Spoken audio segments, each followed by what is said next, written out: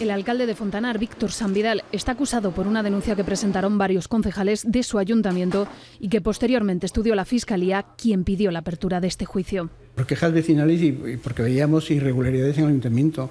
La Fiscalía considera que esa obra se adjudicó a una empresa sin experiencia y sin constituir. Pero no figura constituida esa, esa empresa, ni registrada esa empresa. Nadie me ha advertido, nadie me ha dicho aún a día de hoy que estuviera incorrecto.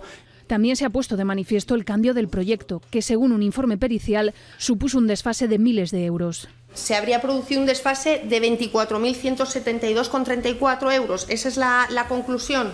Exacto.